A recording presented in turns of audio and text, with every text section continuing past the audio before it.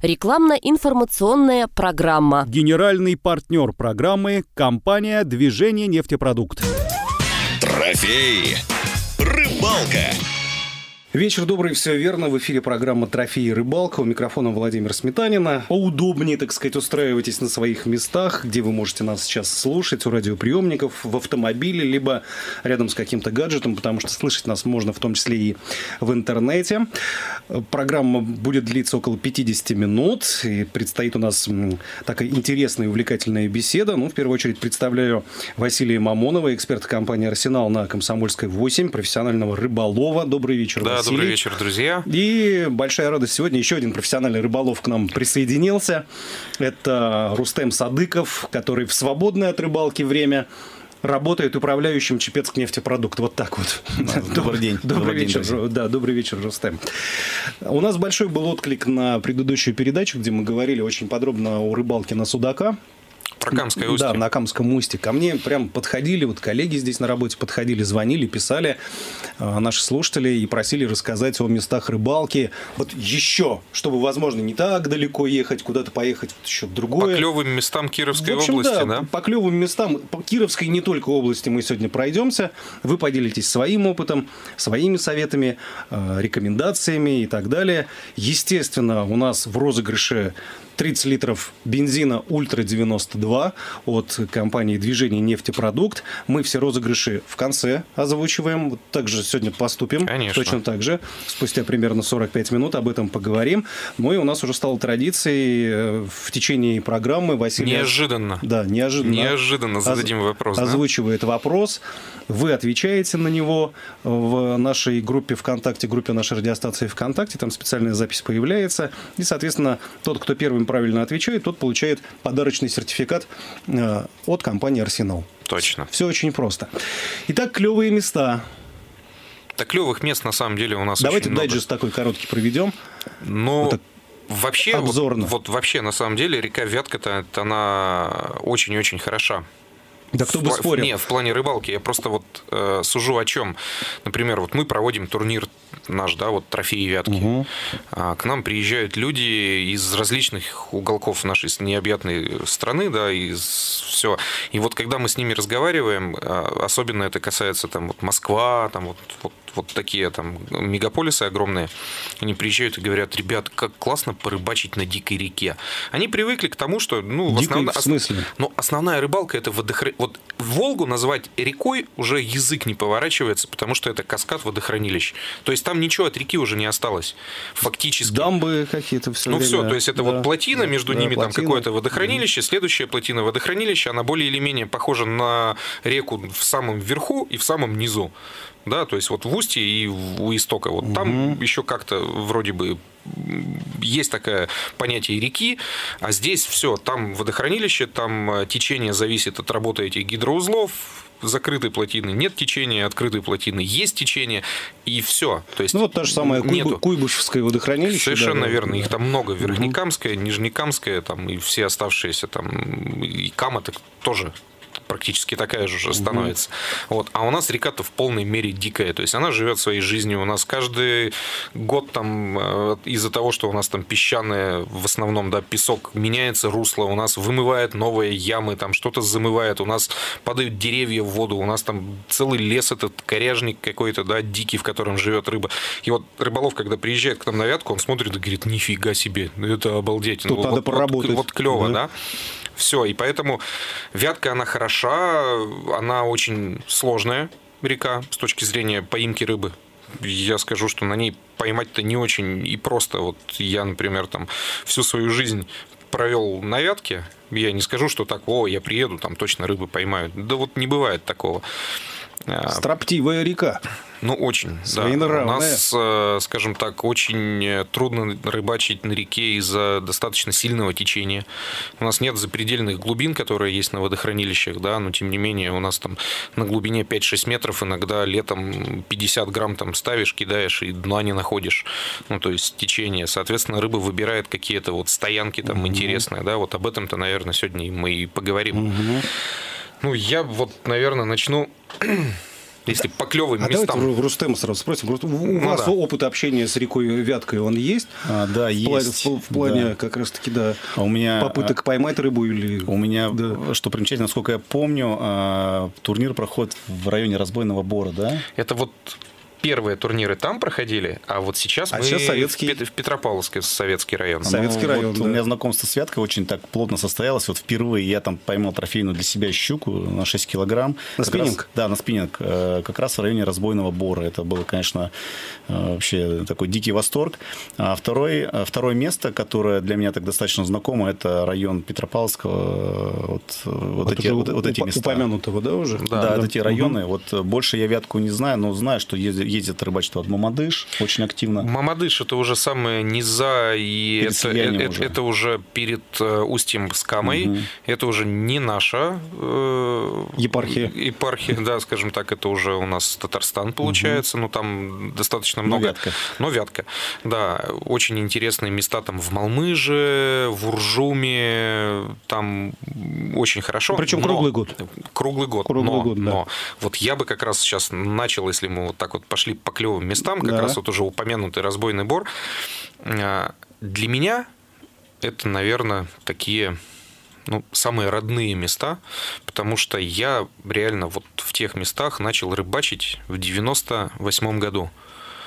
Давайте сейчас четко скажем, как доехать. Вот Как тот, кто доехать? еще никто не, не там, ездил. Там, езд- там ехать можно по-разному, то есть можно приехать в, сам, в саму деревню Разбойный Бор, да, можно приехать там в Суводи или еще куда-то, но там дорога, скажем так, не для каждого автомобиля и очень экстремальная такая, если вы еще там катер попытаетесь за собой тащить, ничем хорошим это точно не закончится. А вот сейчас, когда А мы просто снеж- не снежный- доедем. снежный покров Вот. уже когда. Мы всегда ездили каким образом? Есть замечательная такая деревня, называется Криуша. Вот туда на любом автомобиле, в любое время года мы выезжаем на берег реки Вятка. А, Соответственно, чтобы нам попасть вот уже в озвученный разбойный бор, нам приходится подниматься по реке либо на лодке, либо сейчас это делать на снегоходе, там проблем не возникает. Как много подниматься? Порядка 30 километров кверху. Ого. Ну, слушайте, бензином-то надо запасаться. Конечно. На движение на заправке надо заехать обязательно. Вот.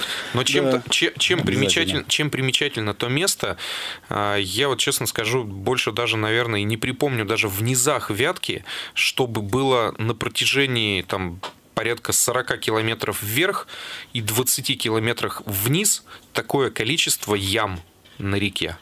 И такое количество коряжника я вот, честно скажу, не припомню нигде. То есть там замечательные места Лисий Яр, Разбойный Бор, Ну, это все народные названия такие. Ж Ну вот не- Лис- не Лиси-. Яр – это народное название, но, честно скажу, вот сколько раз мы там были, я реально на этом яру очень Что, часто лисы вижу лис. Вот, вот серьезно. А, Чем хороши еще и примечательны эти места? Тем, что там находится Нургушский заповедник. Вот там. И как раз Лисий Яр, он попадает в его юрисдикцию, да, там можно рыбачить, но нельзя выходить на берег, там стоят такие аншлаги, что, Предупреждающие. да, Ага. предупреждающие, что на берег выходить нельзя. А, Соответственно, там практически не бывает сетей, а что, ну, это очень здорово, потому что там на реке практически всегда есть егеря, которые за этим следят. Вот. Ай-яй-яй, сделают. Да, сделают ай-яй-яй, а ну, для нашей, скажем так, не сильно большой реки браконьеры, к сожалению, это такой бич. Там рыбу истребляют ого-го. Там достаточно спокойно, это раз. Во-вторых, там не очень удобно ставить сети, потому что там столько коряк, что если он туда ее поставит, она ее то просто потом не достанет. Поэтому там рыбка себя чувствует достаточно спокойненько. Ну, видимо, исторически веками там сложилась вот Да. ос- особенность, да, именно А, рельефа например, вот речного. в том же в том же районе, там же точно, чуть даже ближе вверх по течению, есть замечательнейшее место, которое будет интересно вот сейчас зимой. А, Это так называемая черная ласка. Это залив. Это что значит? Это, это такая с- за- залив Старица, который, да, в свое время он был Старицей, потому что имел соединение с рекой там с двух сторон. Сейчас э, в конце э, там все замыло, то есть это, можно сказать, такой огромный большой залив. Чем он будет интересен? Тем, что там а, очень большие глубины есть. Ну, для заливов там 7 метров, это считается очень такой большой глубиной. Достаточно интересный рельеф. Все-таки это старое русло реки было, поэтому там остались, опять же, вот эти завалы коряк. А, И туда реально осенью, когда идет вот шуга, по реке, да, когда она еще река не замерзла, а залив уже встал, все, там уже лед.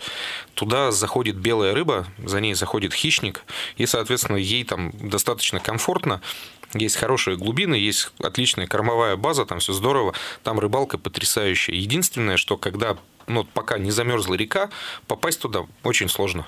А это район чего? Э, Как туда добраться? Мы доезжаем до Крёж, и начинаем подниматься вверх. Вот как мы идем к разбойному бору, мы проходим буквально там, у нас получается 12 километров, и с правой стороны реки, если смотреть против течения, будет как раз вход вот в эту черную ласку. У меня с ней, не знаю, связано самое теплое воспоминание. То есть у меня там была, а, ну вот мой, например, рекорд по щуке, несмотря на то, что мы там ездили на север куда-то, да, там или еще что-то, летом пойманный рекорд по щуке 11 200 пойман на черной ласке. Ну, То Приличный есть трофей. для да. Кировской области и, скажем так, не это не сильно далеко, ну, там получается у нас 160, там 170 километров, да, это просто отличный трофей. Там замечательно можно половить очень-очень крупного окуня, причем он там есть всегда весной, летом, осенью, зимой. Замечательная рыбалка. Там- да, там отличная рыбалка на жерлицы. Там на выходе уже, где начинается течение, там каждую зиму постоянно сидят люди, которые ловят белую рыбу. То есть это лещ, там густера, сапа и все оставшееся. Вот. Там не знаю, то есть там можно все, все, весь арсенал свой попробовать, вот все, что хочешь. Хочешь так, хочешь так, хочешь так. Выбирай для себя интересующую тебя рыбалку, ты сто процентов там поймаешь рыбу. Вот. Ну, усложняется все там немножко дорогой, да. Либо иметь какую-то технику передвижения, вот сейчас зимой, после того, как установится уже нормальный ледяной покров. А Вот, туда доехать достаточно просто. А, Например, тот же разбойный бор а, и лисий яр, они славятся именно своими судачьими местами. То есть, вот если, например, я зимой еду на вятку именно за судаком, ну, в 90% случаев я еду туда. Потому что там плюс в чем? В том, что реально мало рыбаков, ну, не каждый до туда Не каждая птица не, долетит. не каждый до туда Да. добирается. Мгм. Вот. Соответственно, места нетронутые, это раз.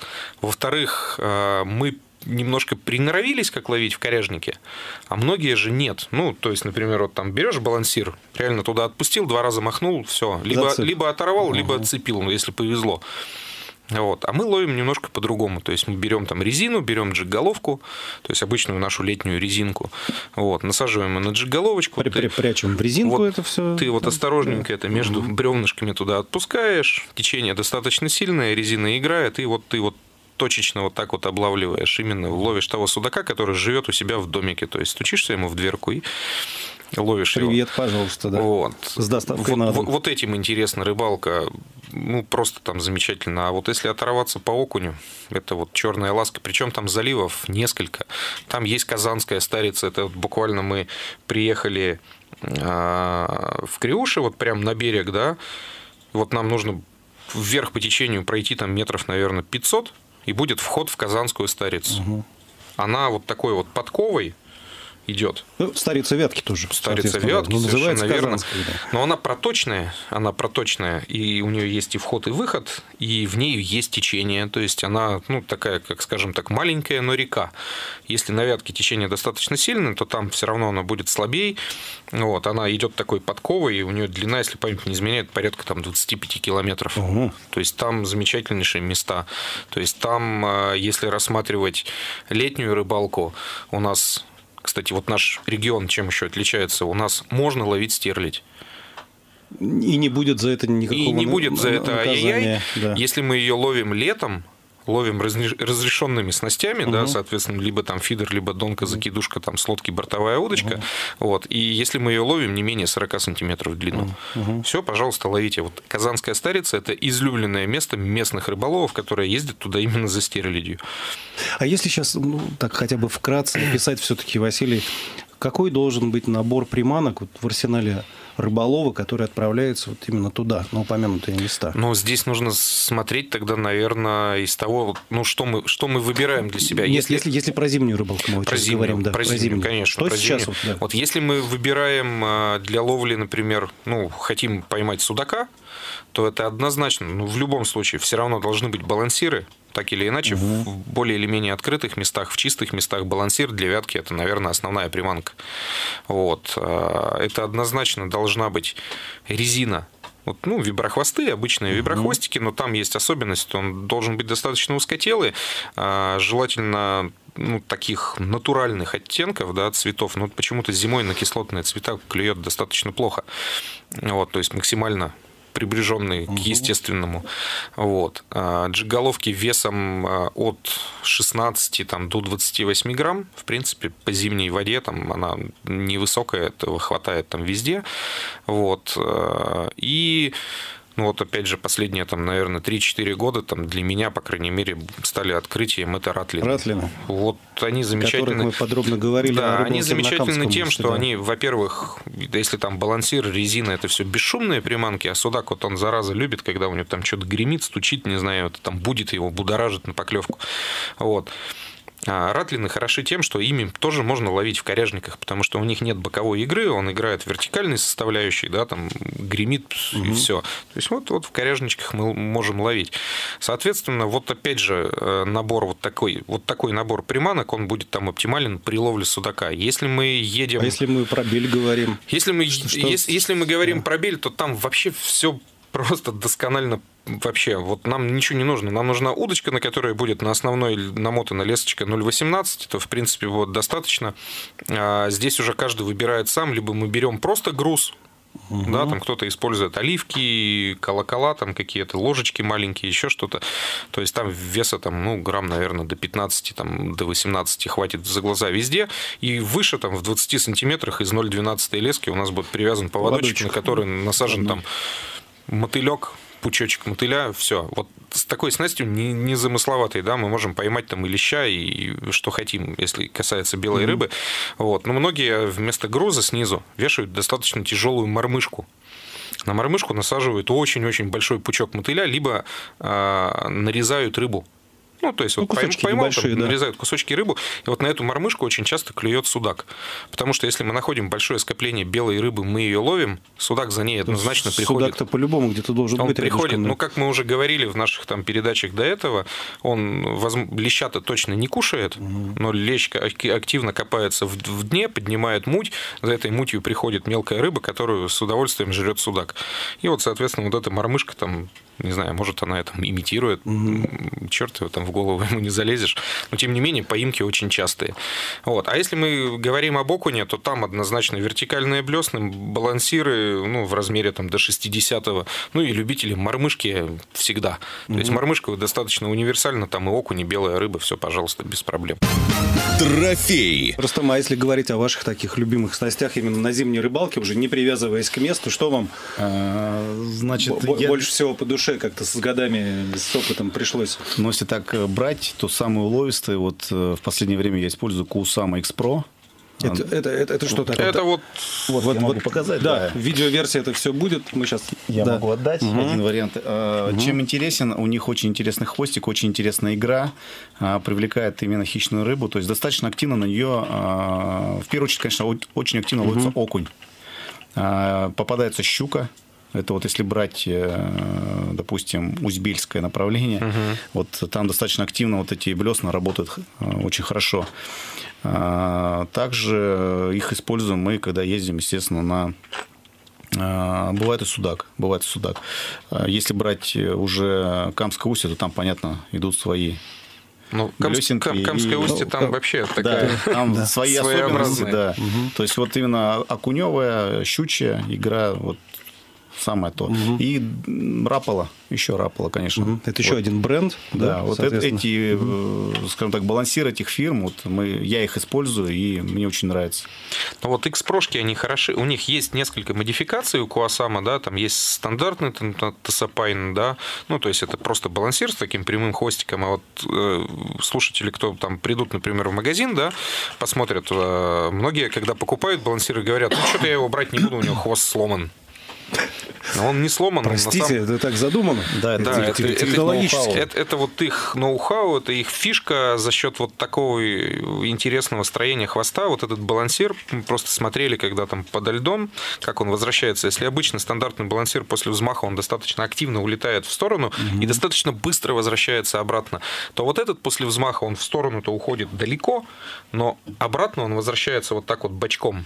И достаточно медленно, медленно, медленно. То есть это хорошо, потому что зимой рыба, она ж Да, у него очень интересная игра. И... такая за- заторможенная, все равно чуть-чуть. Температура Температура не воды располагающая. не располагающая Да. к активным там Да, каким-то к супердействиям. агрессивному поведению Вот. И, соответственно, вот такой балансир, он действительно имитирует максимально приближенно вот кормовой объект, вот эту мелкую рыбку, которая достаточно вальяжно там движется. Да, действительно, я вот, честно скажу, не сильно часто использую по одной простой причине, потому что мы ловим в достаточно таких жестких коряжниках, а там, блин, они сейчас, Жал- жалко такие они вещи. сейчас стоят недешево. Да, жалко такие так. вещи. Слушай, Василий, я, кстати, не одну программу уже хочу спросить. А что, время прошло, когда приманки рыболовы сами изготавливали? Нет. Вот Я помню 90-е, паяли мормышки эти, отливали там что-то и так далее. Сейчас на самом деле самодельщиков очень-очень много, но я хочу сказать, что хорошая, качественная самодельная э, приманка стоит в разы дороже, чем, Чем э, кус- промышленная, вот пром- промышленно сделанная. да? Потому что там есть такие произведения искусства, которые там в лунку-то отпускать жалко, думаешь, блин, сейчас зацеплю, оторву и все, и в жизни потом не куплю. А те, кто делают, ну, скажем так, на продажу, там, на поток, самодельщики, ну, у них приманки такие посредственные. А есть такие люди, А да? есть такие люди, Есть, которые, там которые прям делают, вот там шлепают. О да, них там слава про- идет, что они что-то прода- делают. про- продают Мгм, там все здорово. А вот именно найти самодельщиков, которые делают там для себя и продают там какому-то узкому кругу друзей, там приближенных или еще кому-то, вот это особенный успех.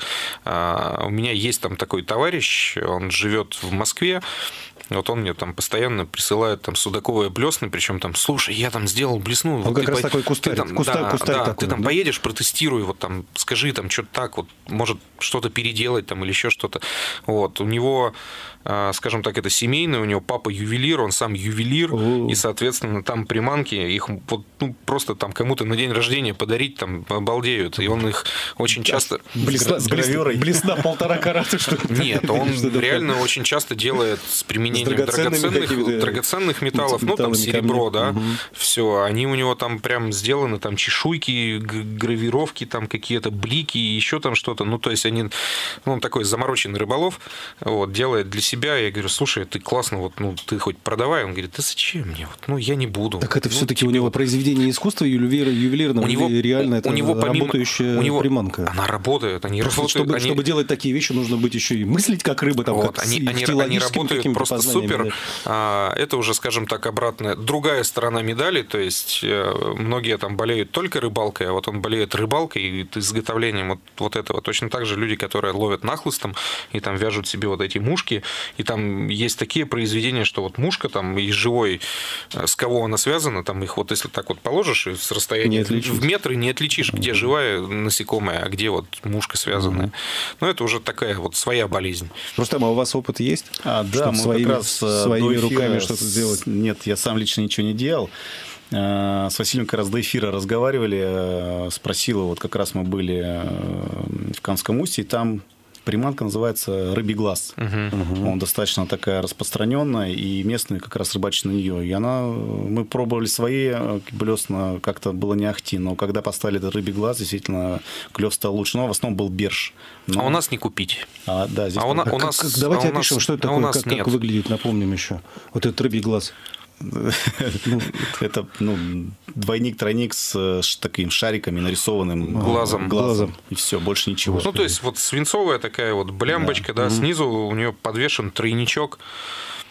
И ничего всё, особенного. ничего особенного. Ничего, да. ничего особенного. Я, например, в Камском устье очень часто встречал местных рыболовов, которые ловят, вот они эту штуку называют там как-то дьявол там, или еще как-то по-своему там. А, Сатана. То есть это тоже вот такая вот свинцовый такой цилиндрик, у которого вот как у балансира два крючка, а снизу нету тройника. вот такая штука, она у них полностью покрашена там флуоресцентной краской, и вот они на каждую из этих крючков, там, грубо говоря, сюда голову рыбки надевают, сюда хвостик, и все, а тело свинцовое получается, ну, вроде бы как бы тюлька. И вот он отпускает ее, как на мормышку трясет, и они там ловят. Мы ходим вокруг, у нас не клюет, блин, у них клюет. Дай приманку, на приманку ставишь ее, клюет. Что такое? Удивительно. Вот, вот что бы в ней там было, но в каждом регионе там свое, например. Ну, имитируют, видимо. Да. Как кормовую базу вот. в любом случае. Попадаем в кормовую базу, вот она ее кушает. Ну, хорошо, у нас сейчас будет небольшая реклама. Мы несколько раз уже про Камское устье тут начинали говорить. Я напоминаю, что у нас предыдущая программа полностью посвящена зимней рыбалке на Камском устье. Мы записывали ее в магазине «Арсенал» на Комсомольской 8. Видеоверсия доступна. Ищите на сайте kirova.ru. Я думаю, что на Камском устье мы еще немножко там побываем после рекламы, да, уже Ру- Рустем о своем опыте готов рассказать. Все-таки действительно, ну, сотни рыбаков из Кировской области туда ездят. Тысячи. Тысячи, да, ездят туда. Такое очень привлекательное место. Продолжим через полтора минуты. Трофей. Рыбалка. Рекламно-информационная программа. Генеральный партнер программы – компания «Движение нефтепродукт». Трофей. Рыбалка. Продолжается программа «Трофеи рыбалка». Сегодня мы говорим о клевых местах для зимней рыбалки, как в Кировской области, так и за ее пределами. Просто конкретный запрос от рыболовов поступил. Расскажите, пожалуйста. Поступил, расскажите, пожалуйста, куда можно съездить в это время года. И с нами Василий Мамонов, эксперт компании «Арсенал» на Комсомольской 8, и Рустем Садыков, управляющий Чепецк нефтепродукт. Оба опытных э, рыболова. Э, Скоро будет вопрос, кстати, да, от Василия. Конечно. Не зевайте, наши уважаемые слушатели. Итак, Камское устье. Рустем, о своем опыте. Тоже очень место вот так по душе, да, однажды пришлось, и с удовольствием возвращаетесь туда А, да, у нас... регулярно, именно у- зимой. Да, мы, наверное, лет 5 или 6 как-то к этому пристрастились. У нас образовался свой круг, э, постоянный круг э, рыболовов. И мы начали искать места э, 500-600 километров, э, куда э, от Кирова можно выезжать. Ну, и- это как раз примерно 500 километров. Да, Ну да, да, да, около да. 500 километров. Куда можно было бы вы, выехать зимой, э, именно под закрытие к- сезона в начале марта, э, и э, провести с пользой, скажем так, э, время порыбачить и отдохнуть. И вот одним из таких мест оказалось Камское устье куда мы приехали. Первое у нас знакомство было такое недостаточно э, хорошее, потому что мы приехали, и в первый же день началась очень сильная пурга, метель. Это просто было что-то с чем-то. Но тем не а менее... кто не бывал в Камском устье в Пургу, я расскажу, что стоишь на льду, и в метре ты человека не Да, видишь. Ну, Это особенность местности, вот эта большая. Там вот открытая, вот, да. Открытая, там ветер, Равнина вот там там ветер, если гуляет 10 просто метров в секунду поднимает такую вьюгу, вот этот весь Да. снег, там просто реально страшно. Ничего не там видно. можно потеряться, не знаю, уйти куда-то и не найтись. Ну, Да, поэтому всегда нужно быть либо с егерем, либо с прибором, чтобы э, Ну, на знать, такой пурге куда да, выбираться, вернуться, если да. что. Да. Так. Вот, но тем не менее мы были с уловом, были с уловом, несмотря на погоду, рыба клевала. То есть рыбе-то все равно, что там на Нам, поверхности нам творится. повезло, нам повезло. То есть для нас, э, скажем так, получилось так, что вроде не было погоды, но тем не менее рыбу мы поймали. но там очень много значит хороший егерь. Вот да, очень ну, мы много. как раз под скалой и рыбачили. Хорошие Ну да. егери, наверное, на разбор там. Как-то нас заранее Ну, там, умудрятся там на каждой базе, на которых вот я, например, бывал, а, там, в принципе, везде хорошие егеря. Вот, каждый возит там на свои какие-то места. Ну, есть там... Да, По у них там GPS у у каждого там забито, да. GPS, там забиты точки, они каждый день на реке, они там проверяют, где что клюет и привозят. Ну, там есть такие скажем так, определенные места, в которых возят всех, да, ну вот это вот под Лобачом, вот у Да, этой да. горы, да, там э, у них там- гора. да, Да, высокая гора. вот, у них там есть тоже, как и у нас, там тоже есть Лисий Яр, например, да, там есть маяк, есть там дырявый камень, не знаю, там эти самые кудрявый остров, да. Поэтические такие Ну, кудрявые, ку- вот, например, там все, вот почему-то, я не знаю, там по перволетку приезжаешь, когда все хотят попасть к кудрявому. Вот все говорят, о, увезите меня к Кудрявому. А там достаточно поздно встает лед, потому что там подходит второе русло, всегда есть течение, там его промывает. Промерзает Вот, долго. а. Промерзает долго, все пытаются туда попасть, там вылазят на этот опасный там лед. Честно скажу, по своему опыту, сколько раз там бывал, да ничего там хорошего нет. Реально, вот под горой там клюет точно так же, как и там, только ехать туда еще 20 километров по льду, и черт его знает, какое там состояние льда. Вот там под горой и ветра может не быть, и, не знаю, и рыбачить комфортно, и лед уже безопасно классный. Что туда все Так, едут? Рустем, не, не совет- понимаю. со- советуйте, куда именно на Камском устье, где ваши клевые места? Э, У меня клевых мест нет, мы всегда прислушиваемся к егерю. На самом деле, То есть, Василий куда он правильно скажет? говорит, да, потому что они э, перед, э, ну, за день до этого проезжают свои же точки, смотрят, где что клевало, они знают, здесь не клюет, поедем там, там что-то ловить. Да-да-да. То есть, я- ну, нужно просто ездить, искать. Ну, тут еще надо пояснить для тех, кто ни разу не бывал. Там, если вы привыкли ориентироваться на скопление рыбаков, вот в этом месте, о, пойду туда, там этого не увидишь, там действительно большие просторы. Нет, там можно этого увидеть, Или но можно? там есть один нюанс, вот, который для того места очень такой актуальный. Там ориентироваться на скопление рыбаков ну, практически бесполезно, потому что вот в этих, скажем так, назовем их таких общеизвестных местах, а, туда, ну, скажем так, с маленьких баз каких-то, частники или еще кто-то, да, они в основном вот туда и везут. А когда туда привозят там 20, 30, 40 развозок, это на льду уже там 300 человек, вот едешь и думаешь, о, ничего себе толпа. Наверное, клюет. Наверное, клюет. Ты туда приезжаешь, а там никто ничего не ловит, потому что их туда привезли и уехали. А им куда деваться-то? Вот они и ходят весь день тут вот вокруг там Заложники хор- больших расстояний. Там еще да. другие занятия какие-то найдут. Вот, и все. Согреваются, и, да, и, может. соответственно, ты приезжаешь, думаешь, вот там толпа, а там как раз э, рыбу ловят, э, вот хорошую крупную рыбу ловят рыболовы, мы их называем одиночки, да, которые там на снегоходе, например, вдвоем, они очень мобильно перемещаются, у них в GPS там реально там 100-150 э, точек, Точек. каких-то забито, они заезжают на точку, бурят там 3-4 лунки, 10 раз там дернули, нету, поехали на следующую точку, на следующую, на следующую, на следующую, они там за день наматывают 100 километров.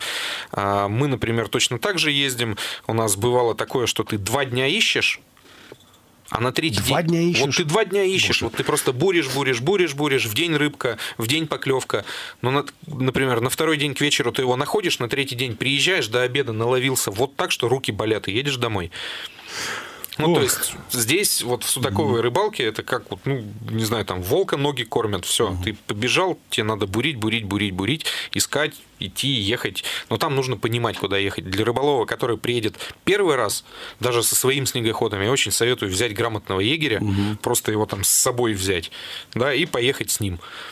Так, а если уже на не про Камское устье, Рустем, куда еще с друзьями кировскими рыболовами можно отправиться в это время?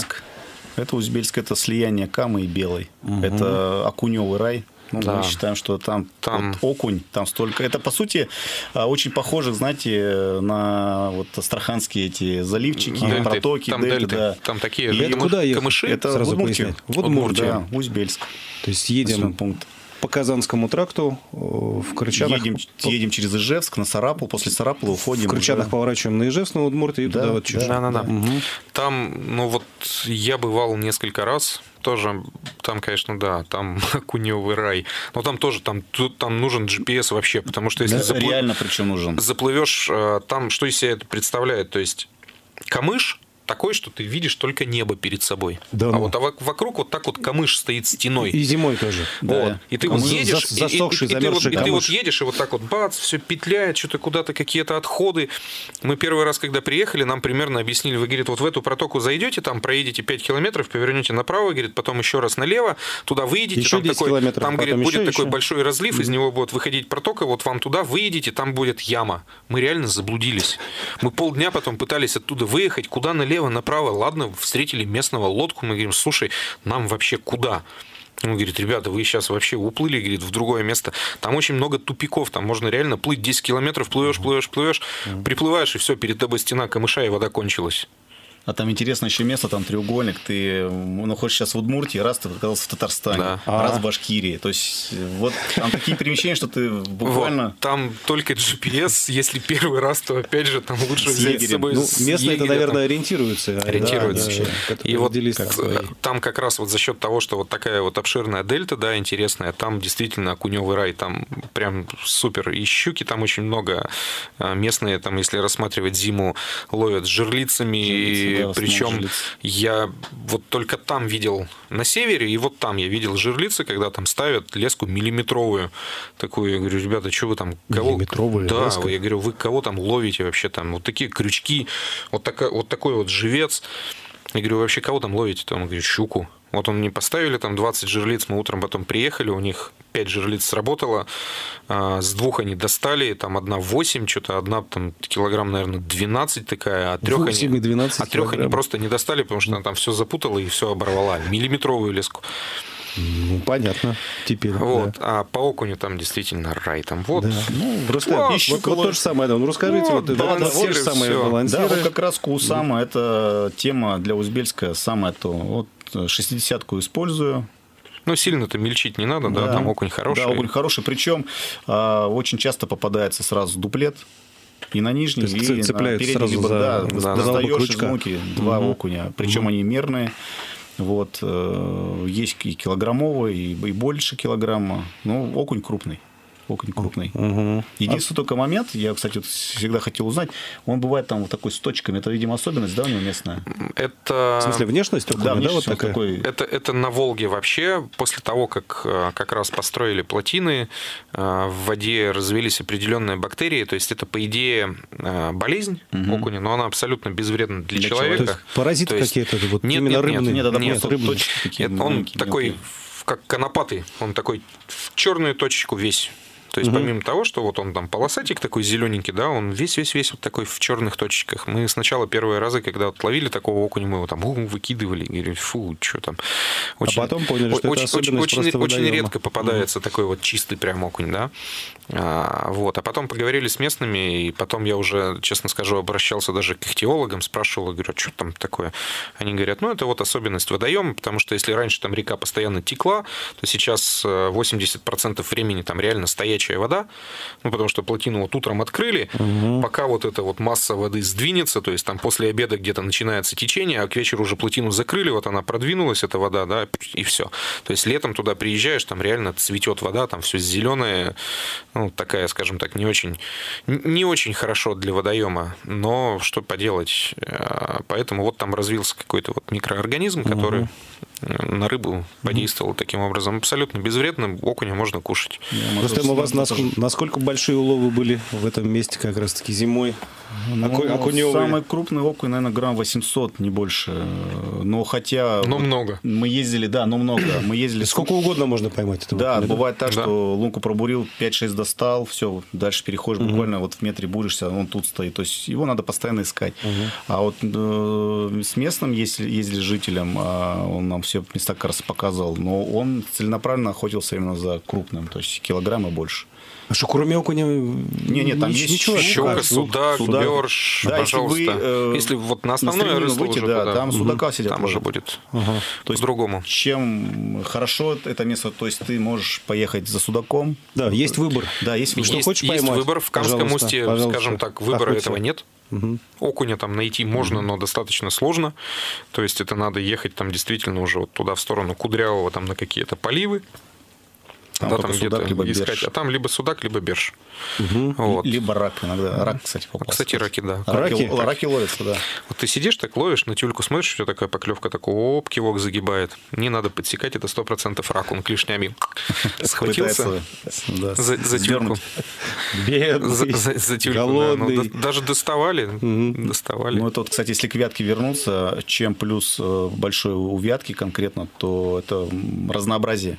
То есть, Да, по большому счету, ты можешь поймать любую рыбу Но, абсолютно практически например, вот на вот, одном э, протяжении. Хорошо. Так, секунду. У нас 10 минут уже остается. Мы уже проговорили практически большую часть программы. Надо вопрос задать нашим слушателям, а потом уже о нашей родной А, вятке. да, действительно. Итак, мы- внимание, в нашей группе ВКонтакте, в группе нашей радиостанции прямо сейчас размещен пост коротенький. Вопрос от Василия Мамонова, эксперта компании «Арсенал». Отвечайте там в комментариях. Итак, вопрос, кто первый ответит, тот получит сертификат от «Арсенала». Страна-производитель оригинальных блесен МЭПС. Три варианта ответа. Англия, Франция, либо Финляндия. Финляндия, Франция, либо Англия. Все Ну очень да. просто. Отвечайте. Так, вернулись к вятке. Так вот. а, например, Разнообразие. Разнообразие. Ну, вот разнообразие, да. Мои товарищи, вот с которыми мы ездим, например, на рыбалку, очень часто делают каким образом? А, У того же судака есть два периода активности. Это вот, как я уже говорил, там сумерки утром и в сумерках вечером. Днем его поймать можно, но если у него там будет какой-то жор, там супер клев, на который мы, к сожалению, попадаем не так часто, да, вот, и днем он достаточно пассивен. Соответственно, делают что? То есть берут с собой снасти на судака, но в то же время там сложили еще удочку с мормышечкой, либо удочку там на белую рыбу, да, там посидеть на течении, и все. Утром приехали по сумеркам час мы там потратили на поиски судака, да, разбурили там перспективные пятачки какие-то, точечки свои. Нет поклевок, все, днем переключаются на другую рыбу. То есть, вот, ну, не знаю, мне так не интересно, я упертый, да, я там целый день буду ходить, бурить, искать этого судака. Вот. А ребята, да, все, они говорят, мы там пошли в залив, половим окуня. Угу. Окей, ушли в залив, день провели замечательно, там половили окушков. К вечеру, когда уже час X-то вот должен настать, возвращаются обратно, берут снова судаковую удочку, погнали искать судака. То есть, если повезло, еще и судака поймали, да, угу. еще и там и куньков каких-то половили, либо посидели на бель. Угу. Вот. С этой точки зрения вятка, она хороша. Без движения нет ужения, в общем. Ну да. Двигаться можно. Да, ну, да. В, прямом и переносном смысле. За день набуришься. Да. Без движения вот. нет ужения, да.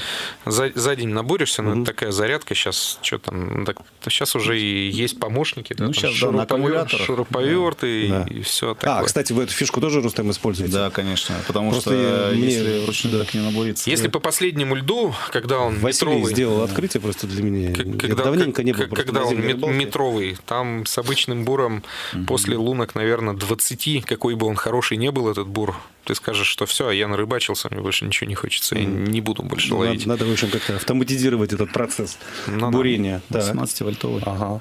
Да. А, давненько слышал, что старицы ведь тоже в районе Кирова есть, и они тоже пользуются определенным ну, спросом, у нас, или они у, у, нас, у нас, скажем так, вот если вообще поехать вот mm. на рыбалку вот вообще можно сказать, что в Кирове, да, это, пожалуйста, вот за старым мостом Дымковская и Макаревская старица. Ага. Вот они, вот на общественном транспорте туда можно доехать без проблем. Причем место э, пользуется спросом у рыболовов, да, туда очень часто там приезжают, например, с детьми на несколько часиков, да, вот, ну, родители, которые хотят приобщить ребенка к рыбалке. Ну, вот, что недалеко, вот удобно, и можно вернуться туда. очень быстро, если что. Окунь, да. сорога, красноперки очень много последнее время стало, да, то есть там основную снасть, которую бы я туда взял, это однозначно мормышка. Мормышка с насадкой, мотыля. Классическая, в общем. То есть все, штука. там больше ничего не нужно. Глубины небольшие, замерзает быстро, лед всегда хороший. Ну, то есть такая вот рыбалка. И до последнего сидят. Да, и до, последнего, до последнего сидят по весне. Причем весной там уловы могут очень-очень радовать. Э, я пару раз попадал лично, когда там окуни такие по 300, по 400 грамм, они реально весной там клюют, угу. сумасшедшие. Но это, это когда уже солнышко припекает? А это уже когда уже, солнышко да? припекает, это уже когда на вятке есть подвижки льда, угу. и рыба начинает шевелиться, и она просто туда заходит. То есть вода начинает чуть-чуть подниматься, подпирает уже все, и рыба идет туда, она идет туда на нерест. Угу. То есть это реально вот нерестилище, да, Макаревская и Дымковская старица, туда рыба приходит весной на нерест. Вот. И потом она там остается, потому что ей достаточно комфортно. Кормовая база там, не знаю, сумасшедшая. Обширная. Сумасшедшая. У нас есть вот, да, у меня с собой нету, у нас есть видео. Вот мы сейчас, как только лед встал, мы ходили туда вечером, вот как раз на Старицу. Вот это, на да? Старицу, угу. на Макаревскую. Угу. С фонарем, когда вот лед сейчас был прозрачный, чтобы вот просто вообще посмотреть, есть ли там рыба. Там плавают просто полчище красноперок. Вот я их снял угу. на телефон, вот прозрачный лед, мы светим фарой, и там, я не знаю, там сотни не крупная такая, ну, ее очень много. Угу. Вот. Достаточно много щуки. Причем щуку там летом и осенью ловят успешно на спиннинг без проблем. Подъезд на любом автомобиле. Ну, то есть вот так вот приехать там на полденечка спиннинг где-то покидать, ну, угу. можно, можно рассмотреть. Вот. У нас на самом деле вот э, в районе города-то очень много там, например, известнейшее место для зимней рыбалки. Летом вот не, не сильно много народу ловит, а вот зимой реально туда опять же заходит рыба, когда начинается движение вот э, шуги по реке. Это, например, карьер у трамплина. У нового моста, да, вот да, карьер у да, трамплина. Да. Чем хорош? Тем, что там копанный рельеф, там копали песок, там, да, вот эту вот всю штуку, там накопали огромные ямы, там такие перепады глубин, все, судаку и щуки это очень нравится. Рельеф не меняется. Вот. Да. Белые рыбы там просто какой-то лом всегда причем и летом. Вот. И когда начинаются подвижки, вот эти все шуги по вятке, туда заходит судак. Вот его там активно ловят. Например, угу. там неделю назад вот мне парни звонили и говорили, вот, слушай, мы там сегодня отловились, там поймали по 4, по 5 судаков, ну вот, вот город. И ехать-то особо никуда не Ну нужно. да. Ну, Рустам, это так вот сбегать. А у вас бывает, когда вот захотелось порыбачить, а возможности по времени особо нет далеко уехать, и вот где-то рядышком с Кировом куда-то? А, нет, такой... Нет? Нет, не было. А, то есть Я- вы, я- вы, вы- вы сторонник, наверное, такой планируемой рыбалки, что вот надо весь готовиться кайф в том, что далее. да, нужно, вот когда ты начинаешь планировать, и вот этот вот сам процесс подготовки, сборов, Да-да-да. выезда, в этом Ры- вообще... ры- рыбалка это же она не только вот процессом ловли, а это же вот процесс там подготовки, то есть там, ага, мы завтра едем в Камск, всё, там начинаешь блесна перебирать, перебирать, там в магазин заехать, посмотреть, да, что-то там какие-то тройнички там поменять, там еще леску перемотать, видео там, посмотреть, да-да-да. какие новинки есть и так далее. Ну, то есть это на самом деле тоже такой неотъемлемый процесс рыбалки, без которого она будет не сильно интересным, интересный такой, да, то есть вот процесс. Да даже если рыбалка окажется Там же- не там же- слишком удачной, все равно удовольствие уже Да, получено да. от процесса Там же, там же такой далее. определенный мандраж перед каждым выездом на рыбалку. Вот перед таким планируемым, когда ты ждешь этого, там какое-то определенное время, и ты понимаешь, вот он завтра. Я вот, например, уснуть не могу, да, там вот ворочаешься, ворочаешься, все, я сейчас вот, вот, мы, вот, вот сейчас вот там будильник заведен вроде бы, а ты один черт станешь раньше там на час. Ну, то есть такая штука-то. Рыбалка тем и хороша, что она очень будоражит кровь, адре- адреналин вот этот, ну, ни с чем не сравнимо. Трофей. Есть где-то желание побывать еще вот именно на зимней рыбалке? Возможно, какие-то места, о которых Да. слышали, видели, вот, но еще недостаточно Мне- знаете, и хочется попробовать на себе, что Мне, называется. мне очень хочется побывать вот там, где мы были в этом году а, летом, это на Печоре. На Печоре. Вот у меня сейчас прям такая вот идея фикс. Это Коми, Коми, далеко, далеко. Сколько? Да. 1200 километров? 1200 километров, причем мы хотим побывать там обязательно. Мы сейчас э, планируем эту поездку, мы сейчас ищем, э, скажем так, местных жителей, с кем договориться, но это будет однозначно где-то уже, наверное, конец марта по последнему льду, потому что помимо щуки и окуня мы очень хотим половить хариуса. Хариус. А Хариус это маленькие речки, это именно последний лед, март, у него там прям такой жор. Я видел фотографии у местных на базе, ну, скажем так, на базе, да, на которой мы там жили, вот в доме повешены фотографии. Я когда их увидел, этого хариуса, там, в каких количествах и какого размера он там клюет, Что, прям ну, большой, прям большой? такие полтора там килограмма Ого. хариуса, у них там вот такой вот парус, там, ну, Причем он боится уже доставать. Боец, это быстрые реки, это очень красивая рыба, это необычная для нашего региона рыба, хотя у нас есть в Кировской области хариусы, да, ну, они достаточно мелкие, а там очень крупный. Его в огромных количествах, он, черт побери, гастрономически очень вкусная рыба. Вот, поэтому, ну, это вот у меня вот так вот, я хочу туда. Так, Рустам, у вас? А, да, мечта, тоже, тоже мечта. которая осуществится где-то. Два года мы как раз вот до эфира опять же с Василием говорили о том, что был ли в Республике Коми, ну, вот рассказал про Печору. А, у нас, э, я просто смотрел, там очень сложно по логистике все получается, очень сложно. Передвижение, вот сам маршрут, Да, да? нужно доехать до, условно говоря, до какой-то деревни, потом перегружаться на снегоходы, на снегоходах 5-6 часов ехать до заимки, и вот, условно говоря, ты приезжаешь только на место рыбалки. То есть такого, что ты приехал э, на машине, остановился, сел на снегоходы, и там где-то 10-15 километров до, до места рыбалки, то такого нет. Там очень в этом плане... Большие расстояния, Да, да. расстояние. То есть надо вот продумать в этом плане логистику, да, и как раз ехать туда э, тоже как раз конец марта, начало апреля, как раз там, потому что еще рыбалка зимняя в самом разгаре. Самое-самое. То есть там уже достаточно, скажем так, не так холодно становится, и рыба становится очень активной. Они там до мая месяца по льду ходят, поэтому тут вообще проблем-то с этим не возникает. Ну, для меня, по крайней мере, сейчас, вот после нашей поездки в этом году на север, а, я закрыл для себя там все вот эти вот Астрахани и все оставшееся. То есть по километражу получается меньше, по рыбалке получается интереснее, природа нетронутая, то есть нет вот такого в Астрахань сейчас реально приезжаешь, ну вот я могу там сказать, мы ездили там в начале 2000-х годов, когда приезжаешь, и там реально было какое-то рыболовное Эльдорадо, ну потому что там баз было чуть-чуть, народу было мало, рыбы было много, ловили все там, все. Сейчас приезжаешь на более или менее там известных местах, там реально место занимают по темноте там и стоят весь день на якоре. Потому что если ты уйдешь, там тебе встать уже негде Большая будет. плотность рыбаков вот, ну, на квадратный метр. Рыбы, рыбы стало в разы меньше. Угу. В разы меньше. Ее там просто истребляют. Я считаю, что помимо того, что там есть а, спортивное, любительское рыболовство, там есть еще и а, рыбалка промышленного плана, угу. да, там, там ходят тралами, угу. сетями, неводами, чем угодно. Угу. Но не то. А север, вот он манит. Ну и рыба северная. Рыба северная. Да, буквально минута вкусная. остается. Несколько слов о нашем фотоконкурсе, который продолжается в нашей группе ВКонтакте. Пожалуйста, заходите туда. Мы каждый четверг, когда выходит программа, разыгрываем какой-то приз, подводим итоги голосования.